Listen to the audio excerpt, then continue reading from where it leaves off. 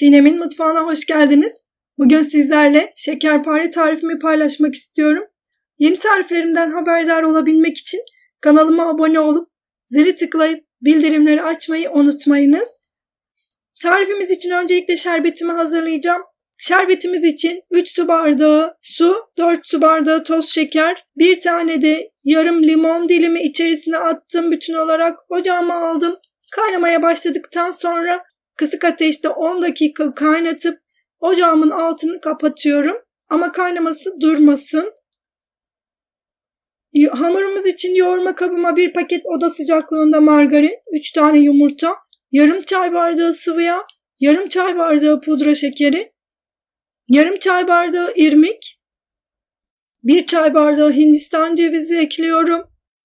Bir paket kabartma tozu ve bir paket vanilya ekledim. Karıştırıyorum. Azar azar unumu ilave ederek hamurumu yoğuracağım.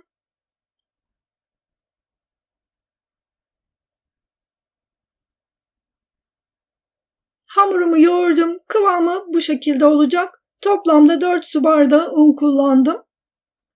Hamurumdan bir parça alıp şekerparelerimin şeklini veriyorum. Eğer isterseniz yuvarlak olarak da hazırlayabilirsiniz. Ben pastane şekerparesi yapıyorum. O yüzden pastanedekiler gibi şekillendireceğim. Tekrar göstereyim. Bir parça aldım. Elimde şeklimi veriyorum.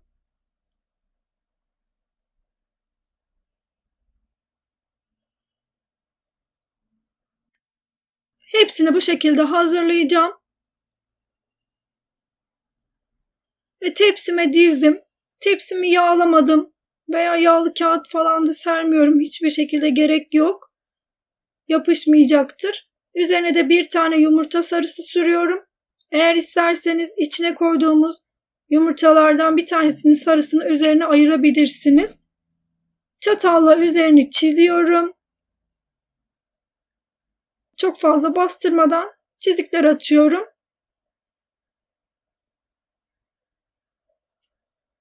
Önceden ısıtılmış 200 derecelik fırında üzeri kızarana kadar pişiriyorum.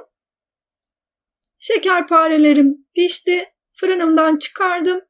Böyle 2-3 dakika ilk sıcaklığı çıktıktan sonra ılık olan şerbetimi şekerparelerime veriyorum.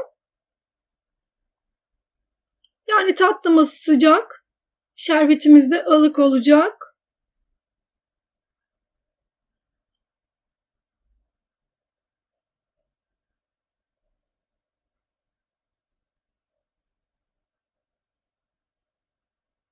Çok güzel bir tarif, çok kolay bir tarif. 5-6 saat beklettim ben. 5-6 saat beklettikten sonra servis ettim.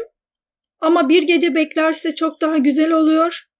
Bir gece bekledikten sonra ertesi günü servis edebilirsiniz.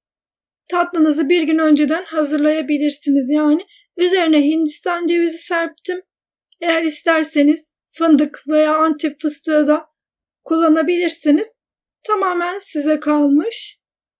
Sizlere kıvamını da göstermek istiyorum. Dediğim gibi şu anda 5-6 saat oldu.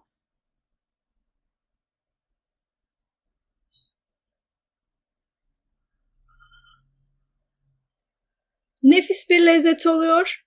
Yapacak olan herkese şimdiden kolay gelsin. Herkese afiyet olsun. Videomu izlediğiniz için teşekkürler. Bir sonraki tarifimde görüşmek üzere. Hoşçakalın.